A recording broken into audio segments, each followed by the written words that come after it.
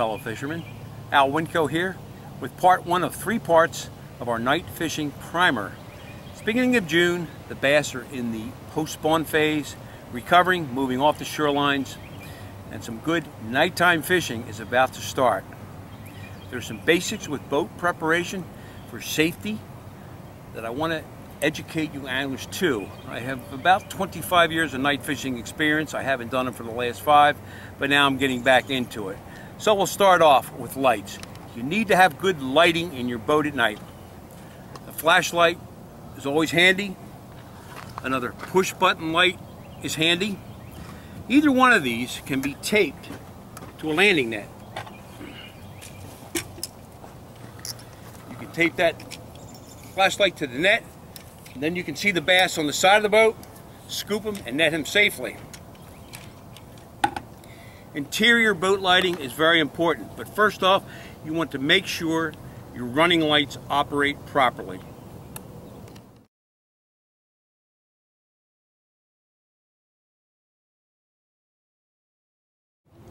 First off, we're going to check our bow light. Red and green, on, off. Now we'll go back to the stern and check our transom light. Off, back on. Maybe difficult to see because it's still pretty light out. Okay. Now you want to make sure you have spare bulbs for these. The bow light usually takes a different light bulb than the transom light or stern light. I keep all my bulbs and fuses in a waterproof container. And we have regular bus fuses and plug-in fuses in this boat from 5 amps up to 20 amps. Very important that you have these and check the bulbs to make sure they work. Now we also have interior lighting in, the, in this boat. If you move around this way with the camera, I'll turn the bow lights on. There's one on this side and one on the other side. Now we'll come back to the console and you'll see two lights here. One here and one on the inside. These really light up the inside of this boat at night. Now we'll go back to the dog box light. This is an inboard jet motor. All the angler has to do is rotate that up, the light goes on. And there's one on this side of the boat also.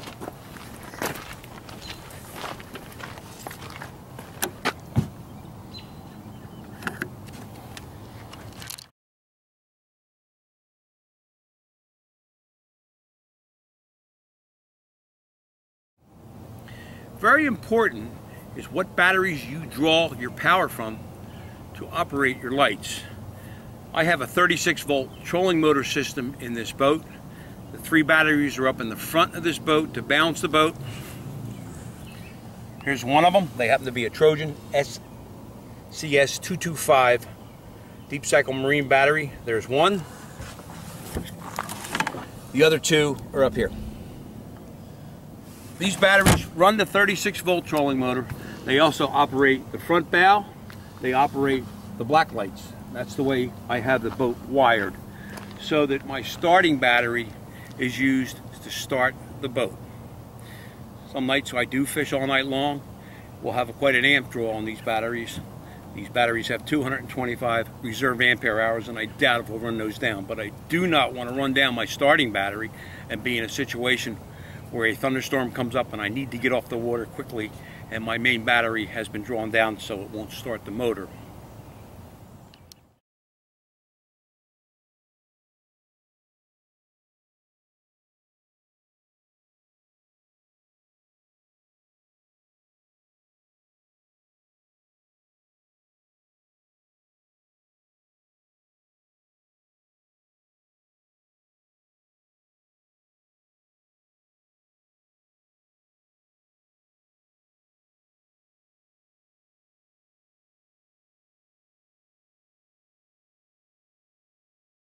I'd like to take a few moments to discuss black lights with you. I feel that a black light and fluorescent line at night is very important. To watch your line where it enters the water. You can tell when your bait is on the bottom, slow falling baits like wacky worms and stick worms. Bass pick them up sometimes. Your line will move left, move right. You know exactly what your bait is doing. Now through experience, I have two black lights on the boat. We have one in the rear, one on the front. I put plexiglass plates on this boat because I don't want the suction cups on the edge of this. I've had them come loose before, so I have plenty of room to slide around.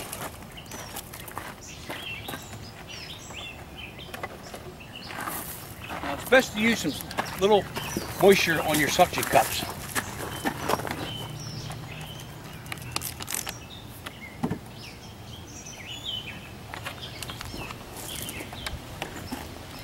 Center, push down. We have a female receptacle back here.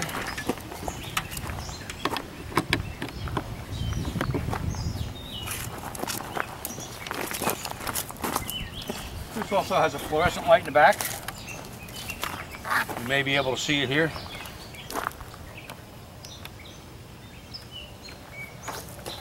Now the black light is on. Watch what happens to fluorescent line. It's still light out, so it's not going to be a graphic illustration here, but you'll get the point. You can see this is not fluorescent line up here where the leader is. That is fluorescent line. And you can see this 10, 15, even 20 feet out in the water on a clear night. Now we'll go to the bow light.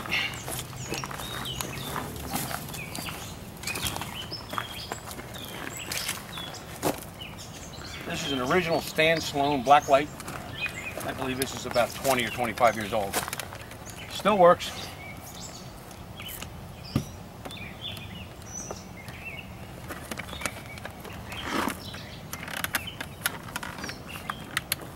This also has a black light which is on now and a fluorescent light. Leave the black light on. You can see this line glow. And as we move back to the regular non-fluorescent leader, at night that's impossible to see that. But as you get into the fluorescent, fluorescent line, it glows. This is also, we have a receptacle up in the bow of the boat, and both of these run off the trolling motor batteries.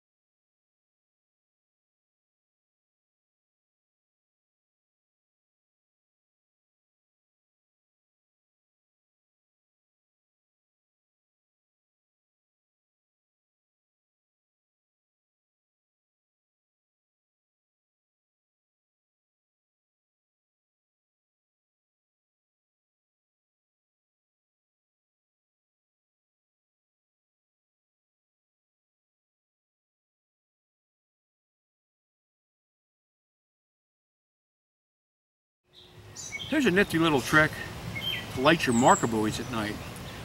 I personally like to fish high spots, rock piles in the middle of the lake, uh, shorelines once in a while, but usually it's the offshore structure that will produce fish. We have about 17 different high spots that we fish and rotate during a night. These are four inch glow sticks. The standard marker buoy, which I've modified a little bit, has my name on it. I have rubber bands on either end of it. All you need to do with these glow sticks just crack them, shake them, and they'll glow for four hours.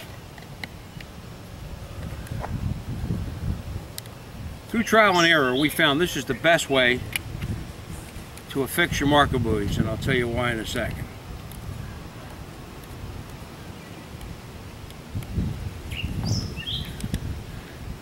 We had these on top, which is fine, but as you know, the marker buoys spin as it gets down the water. Now if you get a little windy out there at night, the waves will cause this to turn. It may flip the buoy and the lights are down shining into the lake. When they're on the side, no matter what this marker buoy does, I can always see these. On a clear night, believe it or not, I can see these lights from almost 50 yards away. And these glow sticks glow for approximately four hours. This will help you stay on those spots and keep reeling in those bass.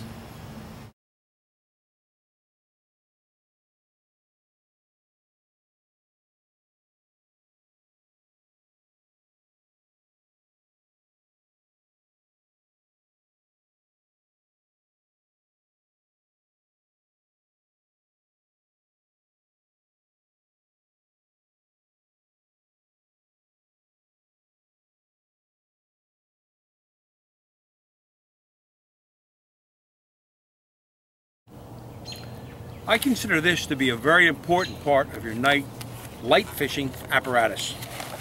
This is a Q-Beam Marine from Brinkmann. It's a 3 million candle power light. Now this requires a 10 amp fuse. Very bright light, it's non-glare lens on it. I'm currently waiting for a 10 amp circuit breaker to come and a female receiver for this plug. I'm going to run approximately 12 feet of number 10 wire from the battery to the console and I'm going to install the circuit breaker there and add some additional light onto this. This light will serve three purposes. If there's engine problems and I have to get back there and light it up, this will light up the entire engine compartment. If for some reason we are fishing a shoreline, which we rarely do with a lot of overhanging trees, and myself or an angler gets a lure hung in the trees, you can light up the night with this light. Third and most important, and I've had this happen before, you're on the water, it's 2, 3 o'clock in the morning, and here comes some half asleep boater that doesn't pay attention to your bow or stern light. And he's bearing down on you. And when he gets to 50 yards, I get a little bit nervous and I hit him with this light. It usually wakes them up, they veer off. And I have personally had this happen to me about 15 years ago in a foggy night in the lake. In our first video, we talked about various boat lighting, and I mentioned the need for a 3 million candle power spotlight. It was not rigged up, but now it is. I took one of my leads and ran it directly to one of my three Trojan SS225 deep cycle batteries. There's the receptacle for the plug, and I put a 10 amp circuit breaker in here, which it calls for. I finished it off with a piece of diamond plate. Also extended the wire on this plug.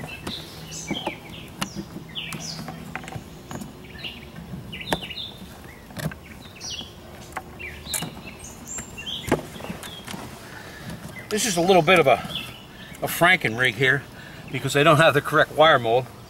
But I already had the two holes in the boat to hold the cover support.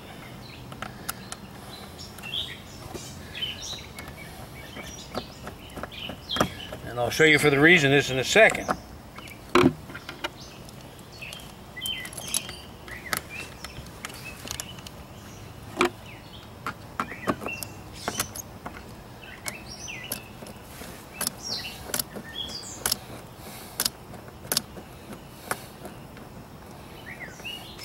This plug will pull out of this very easily. Now we have our spotlight hooked up. We'll this.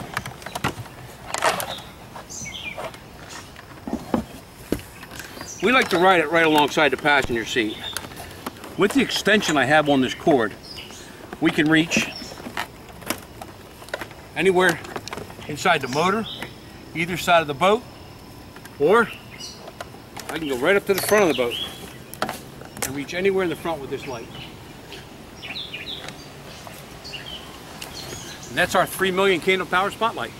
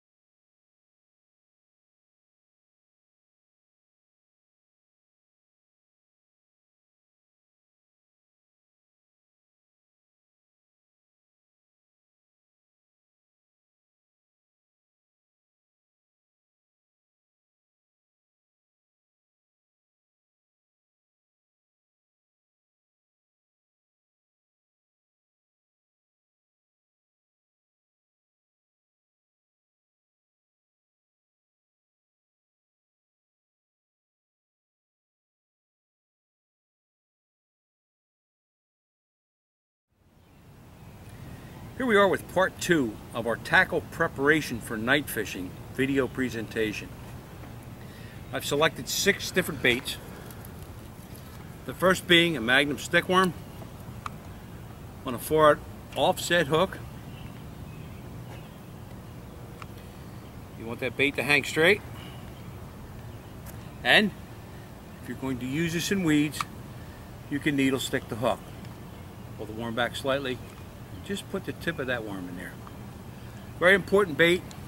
I'll fish this even down to 20 feet of water on a still night on ledges and rock piles. Let this bait slowly go down with the tail wiggling. That's one of my choices. You can see all these rods have fluorescent line on them for use with the black light. There's a spinning rod, but this is a heavy duty spinning rod with a 4000 Shimano Sustain and a bubble craw on a 5 16th ounce swim bait head. This bait is virtually snagless in rock piles, wood, and weeds. Great nighttime bait right here.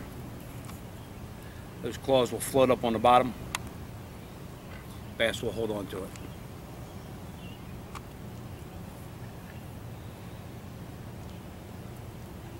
Now usually your crayfish hatch new moon and full moon may be a small new population of crayfish, therefore a tube may be the deal.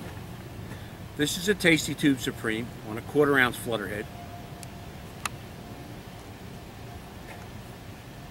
And I fish this on a spinning rod.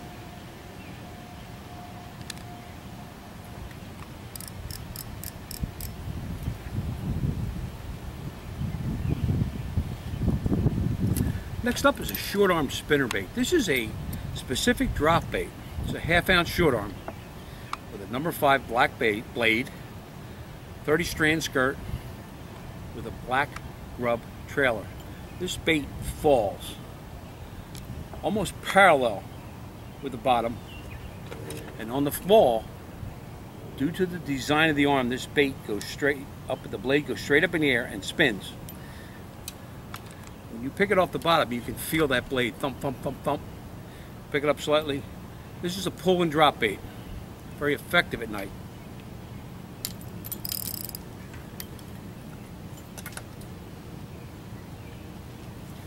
Okay. Here we have the new bait, the 10 inch Predator swimming worm on a quarter ounce swim bait head with a 7 Mustad Ultra Point hook. Again, this can be rigged, exposed, and then needle stick the hook back into the bait for weedless action. Bass grab it, hook the bass every time. Great nighttime bait. Last on my list would be a drop shot.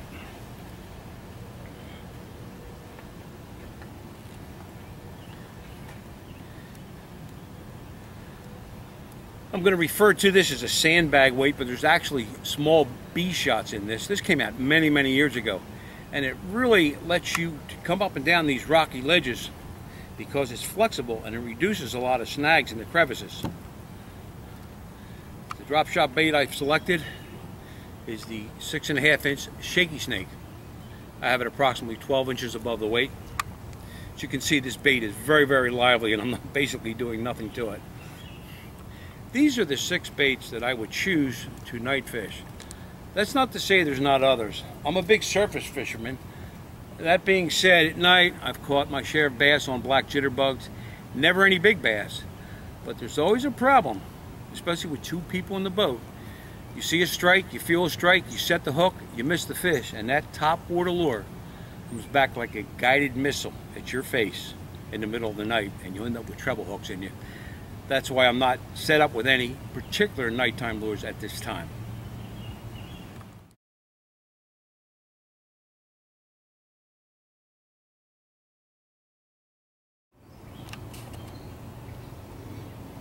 Hi, I'm Howie Thompson from Winco's Custom Fishing Lures and uh, I'm going to present you some of the lures that I like to use when out in the boat at night, night fishing. Um, one thing I want to stress, it's a good idea for anglers uh, you know, if you have two guys on a boat fishing, to fish different lures. This way, you can develop a pattern quicker and easier. The first lure I'd like to show you is a seven and one quarter inch predator swimming worm. This is rigged on a 3 32nd ounce flutter head. The reason why I like it on a 3 32nd or even a 16th is because of the slow fall. Bass hit it on a slow fall. And it could be, could be, uh, you could needle stick that hook so you could fish it in weeds and you could fish it in wood. You don't have to worry about getting hung up. You could also fish it Texposed with the hook out, but that's only when you're not in that heavy cover like weeds and wood.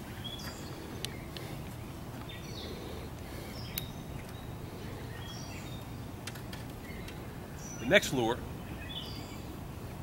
a shaky snake worm, but I'm using as a drop shot, and this is the five inch model. Um, I could go down to a four inch model uh, if I wanted to, but that's a wonderful bait to use at night. Black drop shot worm.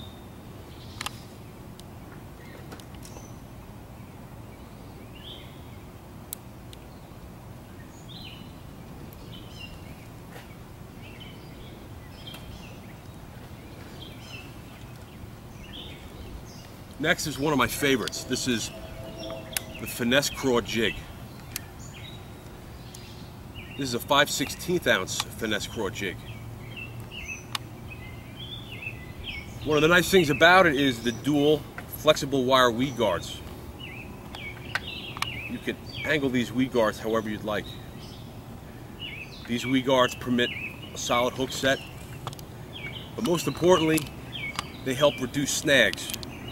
Uh, as you can see, this this jig is actually a little beat up. I've used it many, many, many times. I've put a lot of bass on it, but it's a great jig. Of course, the color black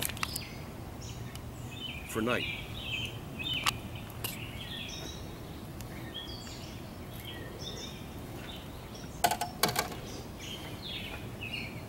And here I have a five and a quarter inch Magnum Wacky Stickworm and this is on a weedless wonder hook. You can see the two wire weed guards. Excellent for around weed beds, wood, and it helps uh, from getting snagged up in the rocks when it's down on the bottom.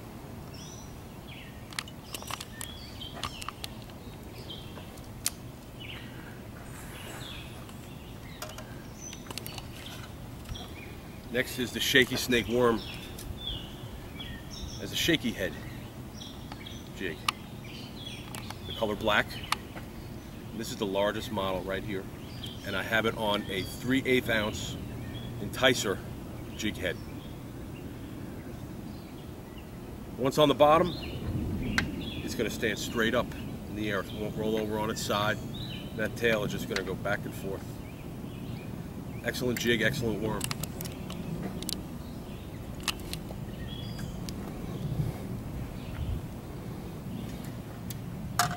Lastly, I have a one ounce Night Stalker spinnerbait.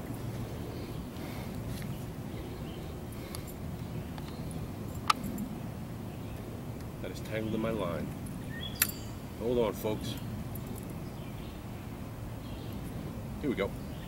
The Night Stalker spinnerbait. This is a one ounce model. Has a number eight Colorado blade. You will feel this thing thumping through the water as you slow roll it along the bottom. Um, it has a black rub trailer with a pink tail. Um, it's an excellent bait to use at night. Just slow roll it really, really slow along the bottom, and that big Colorado blade is just gonna, just gonna go thumping along. Um, I really like fishing these.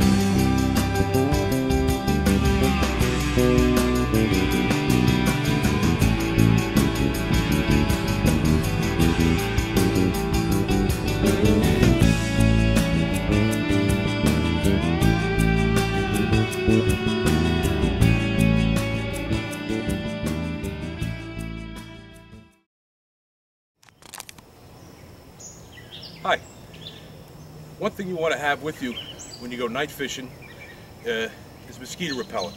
This is Repel. There's off deep woods. There's a variety of different uh, uh, brands, uh, but this is Repel. One thing I want to say about it is you don't want to spray it on your skin because it contains DEET, and the DEET will get into your bloodstream and it's not good for you. Um, but you want to you want to spray it like I'm going to spray it on my hat. I'll spray it on my front, on my clothes, down by my feet.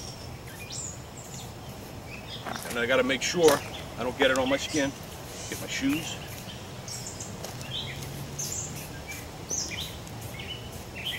A little goes a long way. My shoulders.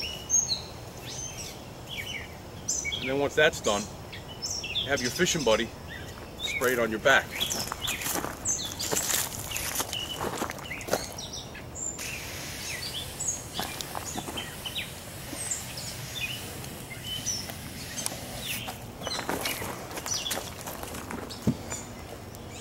One thing I have to say about Repel and Deep Woods and those products is being out on the water, I have not had any problems with mosquitoes ever once we put that on. When we first pull up to the, the boat ramp, put the boat in the water, we usually get bombed with mosquitoes, but as soon as we spray that stuff on us, we don't have any more problems.